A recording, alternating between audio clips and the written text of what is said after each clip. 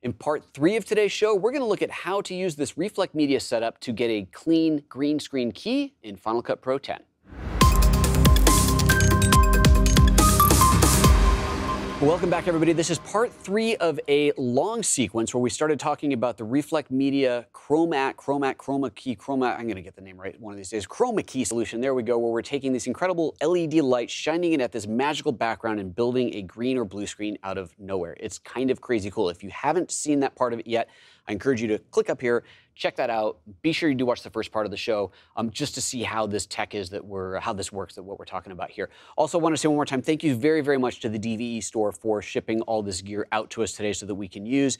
If you are interested in what you're seeing here today, do visit DVE store at dvestore.com slash reflecmedia. That will give you access to both buy or rent the rig that we're talking about here today. So um, thank you, DVE store. Special thanks to you guys for bringing this, putting this uh, together for us today. This is awesome. And of course, for Reflecmedia for making the connection. Okay, so we are going to do a basic key. Uh, we're going to record with the green screen and bring that into Final Cut and do a key on it. But before I bring it into Final Cut, I'm going to do a couple different things with the recording just to show uh, show some of the advantages and disadvantages of this type of a setup and how you can work around um, some of the inherent disadvantages of it, or one of the or the main inherent disadvantage, uh, which is something we call a halo shadow. It's kind of a weird reverse thing, but if you saw part one, you know kind of what I'm talking about. We're going to see it again out here. So let's uh, let's start by taking a look through the GH5. So now is where I get to do my try and actually manage to hold on to everything at once here. Um, okay, Ryan, you're up for a moment here. So hopefully we're seeing me on here. Yep, there we go. All right, so uh, GH5, I've got the ring on here. I'm actually going to move this camera back a little bit for this, just to get a little bit more distance. And one of the reasons for that is more distance means less likely to get spill off of the LEDs and also less likely to get a halo effect, so which is kind of cool.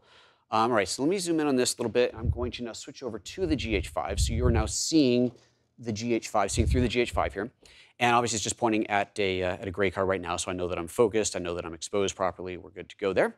Also want to show you that on the GH5, I do have this set up so that we are recording at the highest quality possible. So this is going to be 4K 30p 422 10-bit all intra. And the reason that I've taken it up that far is because I wanted to make sure that we have as much data as possible uh, to do the key. You want to have that 10-bit file is going to make a difference when you're doing green screening. So if you have the opportunity to shoot in 10-bit and you're doing green, you're going to be better off that way. The 400 megabit means you're going to have less likely less compression artifacting showing up along edges, and again, just lead to a cleaner key. Um, often when people are doing this kind of stuff really high end, you'll have ProRes 4444, like absolute super, super top quality, zero compression happening uh, which is great, but that's not an option we have here. So we're going to take the best that we can get, which is pretty freaking good at 10-bit 422 uh, recorded internally 400 megabits. So that's what we've got. So this is set up. I am going to actually hit record now on the GH5. So the GH5 is recording. Let's switch back to that view. And I'm going to step into frame here. Let's move the ladder out of the way. We don't need that anymore. And I am right up against the back here. So I'm just gonna, you know, this is me here up against the back. You should see minimal to no shadowing, that weird halo shadowing. And this is a this is a good key, right? I mean, you're gonna be able to get a good key off of this. So I'm this is like cheating because I don't have any hair. Here, I'm gonna borrow Betty's wig here. So here we go. Now we're getting somewhere. All right. Ryan, you can stop laughing now. So there we go. We got the wig. So you got somebody out here doing the big old hair dance. And uh, and and Ryan is Ryan is losing it. Um, and there we go. So there's there's our first one. Let me turn off the recording here now. Okay, so that's come back to me. Ryan's so busy laughing, he forgot to turn the camera on. Um, so that's that's that first step. So we did that. Now what I want to do, I was up against the background, so that was easy. It's a good, clean, no minimal to no shadowing, halo shadowing happening. Um, but let's let's make this a little bit harder, and I'm going to put a subject kind of farther away, like five, six feet or something away from the background. So let me actually move Betty back into here. And, and yes, this is Betty, by the way, in case you were ever wondering. Still convinced that somebody's going to walk into the studio one day while I'm moving Betty. To find myself in a very awkward ex position explaining why I'm manhandling my mannequin. Okay, that's good. All right. Now, let's take a look at what the camera sees. Oh, I'm going to have to focus the camera, aren't I? Let's go back over here. Me reposition this A little bit better. We'll go a little bit wider on that shot. And make sure we're focused on Betty. Okay, so we're focused on Betty, and you can see the shadows. Can you see what I'm talking about? If you look around her arm on here, you're seeing, you know, you see it on my hand as well, this shadowing on there. This is what we need to get rid of. So one of the ways that we can do this is backlighting. Now there's a limit to how much you can backlight your subject before it's going to start to look like backlighting, which is great if that's what you're looking for. But if that's not the look that you want, then obviously mm, you can't do too much. So this is this is somewhat limiting this workaround. Ideally, when you're using this setup, you really want to have your subject as close to the backdrop as possible. They, say like a foot, a foot away, two foot to two feet away. Um, closer is definitely better. But if you can't, then this is one of the ways around it. So let's go back to we go to the GH5's view, and I am going to take this light right here and there's my light. Make sure that's on. There we go. And just start shining that on her back here. I'm going to take the intensity way down. We don't need it up very high. But look at this side on here. I'm only going to do a backdrop. I'm only going to do this on one side. I'm not going to do it on both. But look at the arms around here and look at how the, um, the shadow goes away or comes back. So let me just, I'll turn the light off, turn the light back on. And we're obviously now getting a rim light on there. So that's something you have to be aware of, of course, if you're doing this. But you can also see that the shadowing is going away a little bit. Now, depending on your shot, you know, I might be able to move the light completely actually behind her. So, like, let's see, could this, I probably couldn't quite get away with it with this shot. Um, maybe with a smaller backlight, you could get away with that. Try and position it in a way that uh, minimizes, so you can't see the backlight. Now, obviously, if she's moving, that's not gonna help. But this, as I bring this intensity up a little bit, now obviously we're getting glow through the hair here as well but we are getting less of the haloing. So what I'm going to do here is just position it off to the side like I had it and turn that down. Let's get the light out of the shot. Turn it down. We don't want it to be too high here. Just enough to give a little bit of a halo and a little bit of eliminating that shadow. And we don't need to get rid of it completely, right? The goal isn't to completely remove it. Um, it's just to minimize it because the more that it's there, the harder it's going to be to key out, especially, turn this off for a second, especially if you look at hands. So look at the, okay, if you look, just look at my arm, the shadow over the arm, that's one thing, and that's, you know, easy-ish to get rid of. But the hand, they tend to compound. So in the, in between the fingers here, you tend to compound it, and that's where it's gonna get the toughest. So that's where you really, you really probably wanna have some additional lighting going on. So um, let's turn this back on. I'm gonna go ahead and record on the GH5. And here we go. So now here, I'm, I'm not going to do much here, just a little bit of moving around. We got Betty here with her hair, um, and we're going to see what this looks like in Final Cut Pro. All right, let's take this off and switch back over to Ryan, you're on. And I'm going to pull the card out of this camera. I wasn't even looking when I hit record. Hopefully I actually hit record. That would be nice. And let's bring these into Final Cut Pro and see where we're at. All right, Ryan, thank you very much. Here we are in Final Cut Pro. Oh, good. I did record both of those, so let's just grab those two shots and import those guys. I've got this same background you saw earlier. I'm going to go ahead and drop that down. Oh, actually, let's not do that first. Let's add these on first. Add these two shots to the timeline and add this graphic underneath it. So we have something to key through, something to see. So Final Cut, doing a key in Final Cut's pretty straightforward. Uh, you just go to the Effects tab, the little Effects tab right here. You click on that guy, the Effects browser. Uh, you can search, just look at all, search it all, and then type in a search, type in key, and you're going to see two, a keyer and a luma keyer. The keyer is what we want. That's the chroma keyer.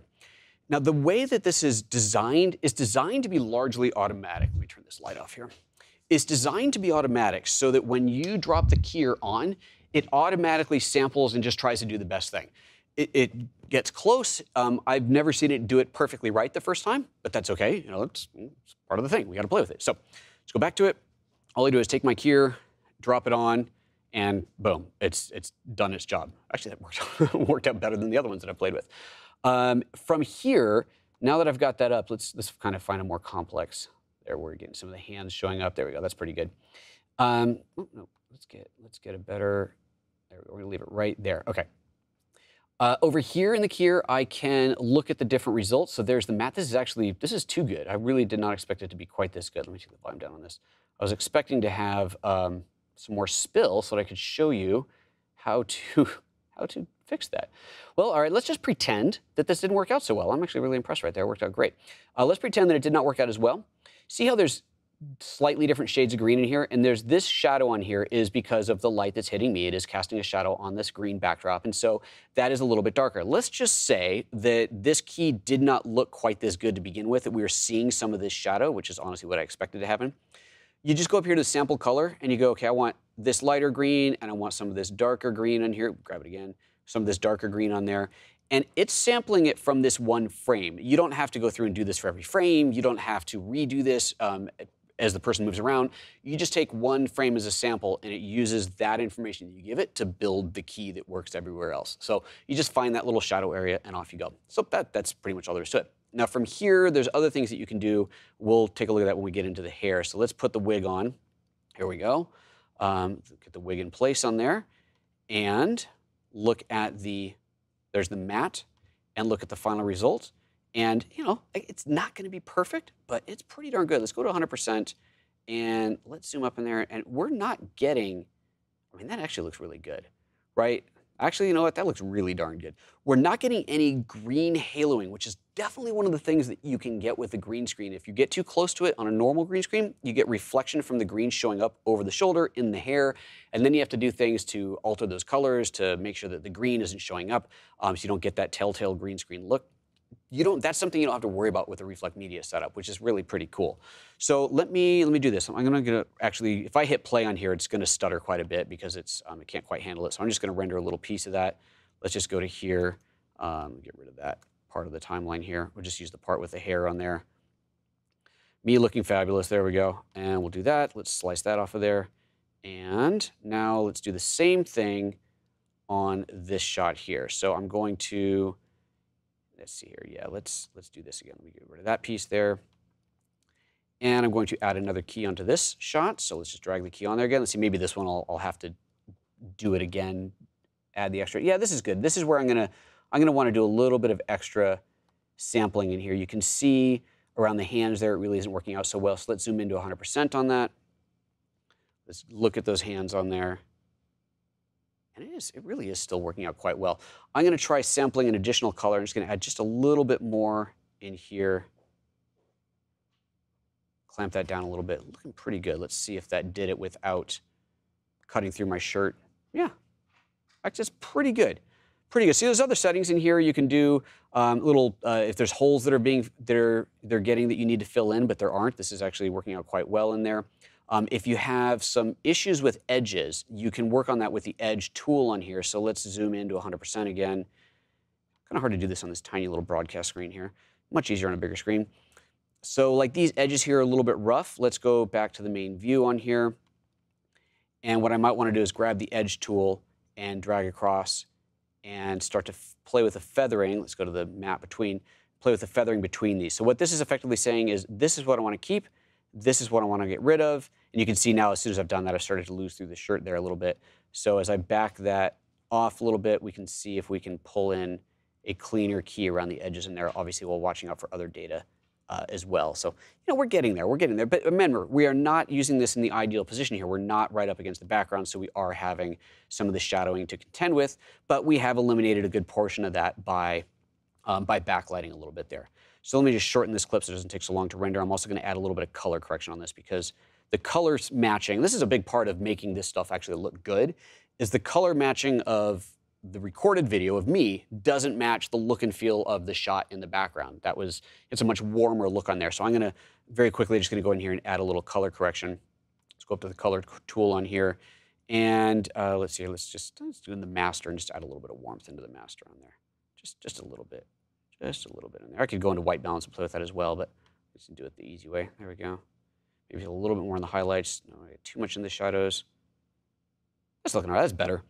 So I'm going to do the same thing on this shot here. Let's go to this shot here. Add a little bit of warmth into that one. Just so it doesn't look quite so pale. There we go. Okay. So now I'm going to take that and hit render on there. And that will take a moment to render because this is my older laptop. I'm going to let that chunk away and, uh, and just recap what we've seen here. So again, if you missed the, the main first video, you do want to see that. We talk about how the whole Reflecmedia tech works, these LED lights shining on that gray, seemingly simple gray background um, and how it reflects the light back into the lens. It's incredible. Uh, the fact that you you only see this when you're looking through the lens, and that was actually something I forgot to do in the first demo. I was going to show a different camera angle off axis with the light on. You don't see it, and that's part of what's so crazy cool. I mean, look at the background, right? You can see the background there, right? There's the background. The light is on. The green light is on right now. It's pointing at it, but you can't see it from here. As soon as I switch to the view through the GH5, there you see that. There it is. But from this view, you can't. The light is on right now. It's just not showing up unless you're right on axis. And you can even stand next to it and you don't really see it. You don't really see it until you're looking through the lens, right through that ring. It's, uh, it's pretty remarkable. Okay, um, let's just play what we've got on here. So we're not waiting all day. Let's just see what we've got. So I'll hit play on this. And even with the hair on there, that is not too shabby at all. Now this is using Final Cut Pro 10. There are definitely better keyers out there, dedicated keyers. I've been told that After Effects seems to be very, very good, and I know the DV stores in the chat room, and they said earlier uh, they recommended something. They said to get an instant key on location in the studio, we use and recommend PhotoKey 8 from FX Home. So PhotoKey 8 from FX Home. I haven't ever looked at that before, but that's something that you might want to look at as well if you're looking for a really good key. So that, my friends, is everything I wanted to show you today.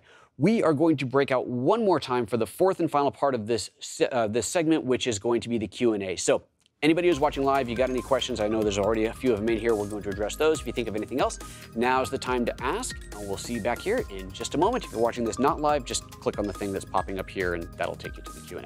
See you in a minute.